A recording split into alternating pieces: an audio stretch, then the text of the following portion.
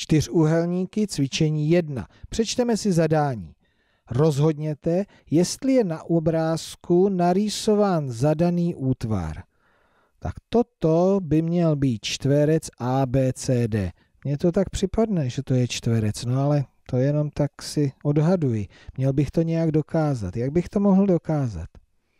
No, já si pamatuji, že čtverec má všechny čtyři strany stejně dlouhé. Tak na to si vám pravítko. No a jdu měřit. Takže nejdříve stranu AB 9 mm. Přesunu se k té protější, také 9 mm.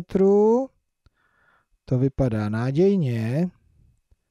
Strana DA také 9 mm a strana BC také 9 mm. Tak to jsem měřením dokázal. No ale to ještě není úplný důkaz toho, že to je že to je čtverec. Ještě si musím na něco vzpomenout. Jo, úhly, pravé úhly.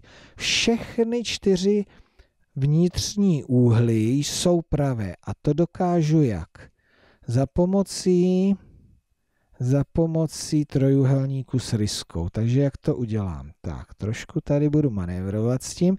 Nejdříve zkusím dokázat, že úhel při vrcholu A je pravý. Tak, musím položit rysku na tu stranu AB, tak, a teďka to přisunu, ještě to není, dobře, tak, tak, výborně, aby další strana ležela na nejdelší straně trojúhelníku. Ano, a teď je to důkaz, že při vrcholu A je pravý úhel.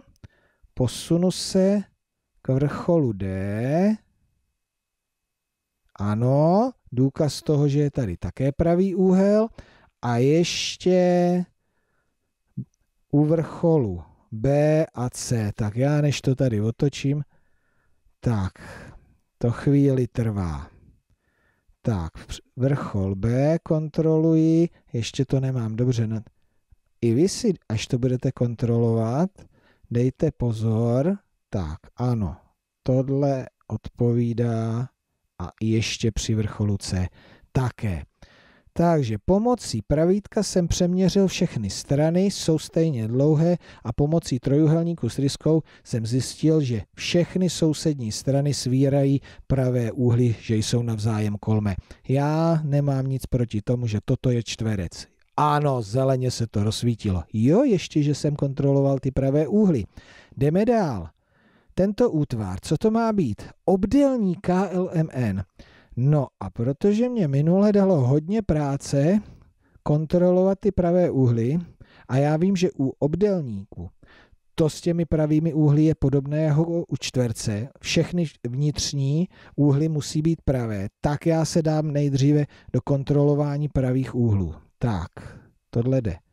Výborně. Při vrcholu N v pořádku.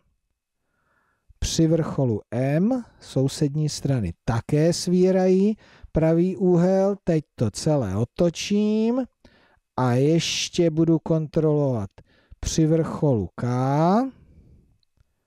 Tak tady nemám dobře trojúhelník. Výborně. Tak, malinko to mohlo být přesnější, ale je to. Čili pravé úhly jsou zkontrolované a nyní u obdelníku nejsou všechny strany stejně dlouhé, ale také tam platí, že ty prostři, eh, protější jsou stejně dlouhé a ty sousední jsou různě dlouhé. Takže zkontrolujeme ty protější 3 cm, 3 cm, no a tím pádem tady je 1 cm, ty sousední jsou jinak dlouhé. Tak, já si myslím, že jsme dokázali, že toto obdelní KLMN je, Výborně. No a jdeme na poslední. Čtverec RSTU, že tohle je čtverec. No tak, strany by asi možná mohly být stejně dlouhé, ale ta další podmínka o pravém úhlu, tak to teda koutkejte na to. No jak tam mám dát? Ta, jo, takhle, takhle, no jo, a už, už nejde to tam. Já to prostě nedokážu. No když to nedokážu, tak tam prostě není pravý úhel. No a sice, ano, můžu si vzít pravítko, přeměřím strany, 1,5 cm, 1 cm 5 mm tady, také, tady, také a tam také. To ještě bych se na to mohl podívat. Ano, strany jsou stejně, mhm, strany jsou stejně dlouhé, ale když už jeden úhel není pravý, no tak jako to už žádný čtverec není. Tohle není pravda. Hm? Nejsou tam pravé úhly, proto mohou být stejně dlouhé strany, ale úhly prostě ty to pokazili. Tohle to čtverec RSTU není. Tak, až budete dokazovat, co je čtverec a co obdelník, nezapomeňte přeměřovat strany a nezapomeňte pomocí trojúhelníku s ryskou zjišťovat, zda ty vnitřní úhly jsou nebo nejsou pravé. Pomůže vám to.